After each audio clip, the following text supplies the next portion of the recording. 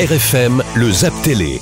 Zapper, zappeuse, bienvenue dans le monde merveilleux du meilleur des réveils sur RFM. Comme tous les matins, on zappe la télé à 8h37. Et vous retrouvez tout ça sur la chaîne YouTube RFM ou sur la page Facebook du meilleur des réveils, tout en images. Merci Carole de filmer ce grand moment. Euh, on commence avec Canal Plus d'ailleurs. Dans le Before, Thomas Touroud a demandé à l'acteur Jean-François euh, Quéret Quéret. de dire du bien de François Hollande. Seriez-vous capable de dire du bien de François Hollande? Ah, François Hollande. Ah, c'est mon préféré parce que voilà, j'ai l'impression que voilà, il est beaucoup sur les gonzesses en ce moment. euh, Il est sur Tinder, c'est sûr.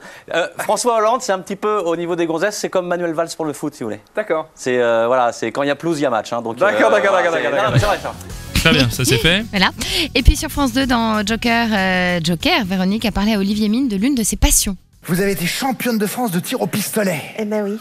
Mon papa est corse, figurez-vous, alors euh, j'ai pas eu le choix en fait. Il vaut mieux bien s'entendre avec vous, c'est ça en gros Bon, très bien. Euh, vous continuez à tirer d'ailleurs, il paraît. un En peu. loisir. En loisir, très bien.